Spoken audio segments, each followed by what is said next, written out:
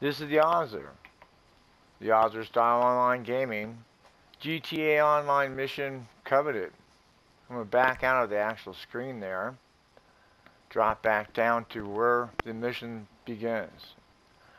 It is a one to four person mission. As you saw, it, it opens up at rank or level 36.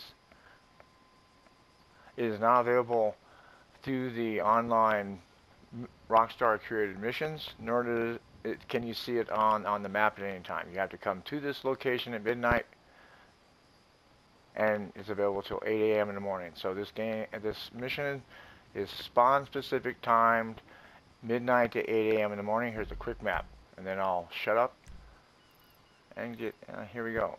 There's a penitentiary over there, the windmill, power station. The actual mission locate uh, occurs over here. This is the OZer, the OZer style online gaming. GTA online mission coveted. It's a lot of fun. Game it.